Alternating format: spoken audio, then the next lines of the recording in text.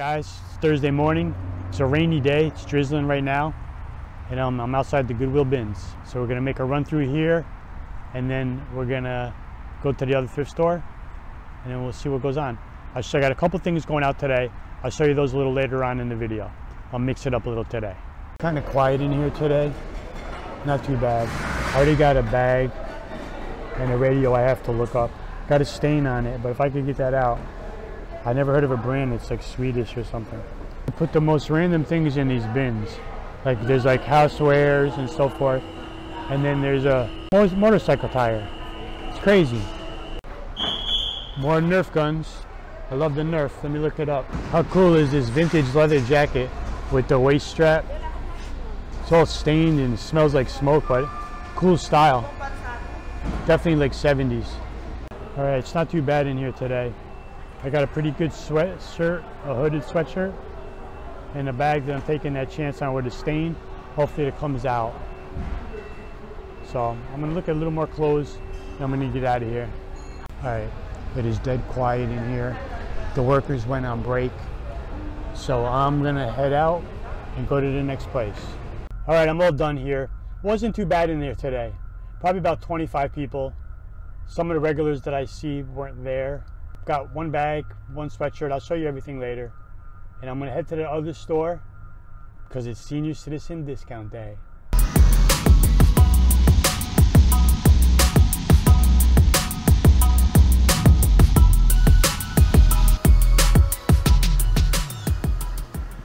All right, I'm at the next spot. Luckily that rain passed, that was pouring. Couldn't even see when I was driving. So let's go see what they got any goodies in here. And um, hopefully I'll get the discount. If not, no worries. I'm gonna shop as if I'm not getting it. All right, I immediately scored in the bag department already. I'm only halfway looking through, and I got two good bags. A Timbuk2 and an Oakley. Serious vintage leather bag right there. That's pretty cool. Here's a pretty cool bag. It's leather and then like a material, like a cloth, made in Turkey. But it's kind of really damaged on the end. So I gotta pass. 25 bucks, that's cool, too bad. There's an old game. Turntable Tripoley. Hey, Mr. Dennis, how are you? Good, you? Very good. All right, I'm checking out this Timbuk2 bag. Trying to look it up. All right, can't complain about a Timbuk2 messenger bag for $3. In the book section, they always have old sheet music. I know nothing about it. I'm sure something is probably of value. Usually this is full. Someone must have bought a lot of it. Just check the eyeglass rack. Nothing going on today. All right, I'm done in there.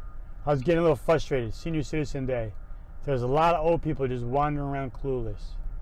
I was the youngest old person in there. And here's my receipt. I got the discount. And things were cheap. I got two bags and like some kind of sewing art thing that has some good comps. But the bags, I got that one Timbuk2 bag. It was only marked $3 and they had another one that was marked 12 so maybe it was mismarked but hey I don't care. So the two bags and the sewing thing only came out to $9. I got that discount of 3 bucks so $6 not bad. So at least now I know I come here every Thursday. You know that's how you set your patterns. Find out what days are specials, what days are good inventory days, what days are maybe not crowded. So I come here Thursdays now because I get the senior discount. Hope that doesn't mean I have to start eating dinner like at 4.30 and going to bed at 8. Anyway, gonna stop at the post office and then we're going home.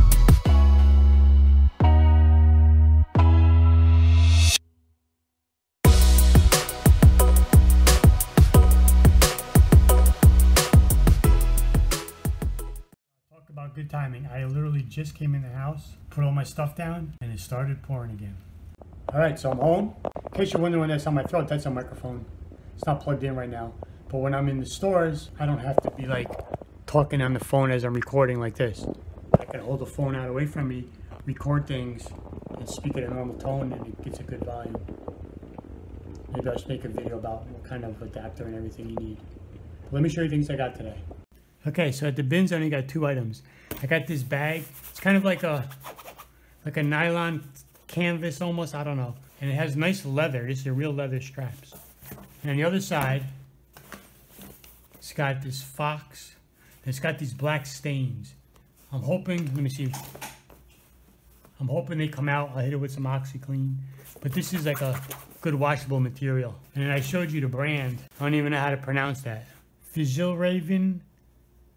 Fjällräven Orneklistidevic. Do you understand the words that are coming out of my mouth? I don't know. That's Denmark, Sweden, whatever. So I got that bag. And I also got this black hoodie, NFL team apparel, San Francisco 49ers logo, center chest, front pockets. It's got lint on it from the bins, but I don't think this has ever been worn or washed because it's got, you know, you could tell there's no pilling. It's very smooth. And let me show you the back. This, the back has an awesome graphic on it. Check out the back. It's awesome. Full length, almost to the very bottom of the sweatshirt. Yeah, I don't think this has ever been worn or washed. Print is amazing. It's perfect. So that's pretty cool. And the 49ers are one of the best teams in NFL this year. So this should sell pretty good. And hoping quickly. And those two items were, I think it came out to like $4 and change. Because it was two pounds. Then in the bag section, I always do good with bags there. Got this Timbuk2 I showed you in the video. Black with gray and red. Messenger bags, got a nice heavy duty strap. Cell phone pouch or whatever on the strap. The only flaw, I mean it's got some staining on it, but this stuff washes up. It's from snagging on the Velcro. It's a little frayed, but I'll snip all that off. Good as new, there's no damage. And the inside has a padded compartment for a computer. Then it has like these attachable pouches one there and one on the side. All right, also grab this Oakley. It's like a travel bag with a shoulder strap. Inside has all the different pouches on this side and on that side. And that was also $3. And with the 33% off, that makes it two bucks. And then I saw this Quilt Magic thing, no sew wall hanging kit of a butterfly. And I scanned the barcode, it's still new. And it has comp of like 30 bucks. So it was marked $3. Now That would make it two dollars also. All right, so that's not too bad. I spent nine dollars in change.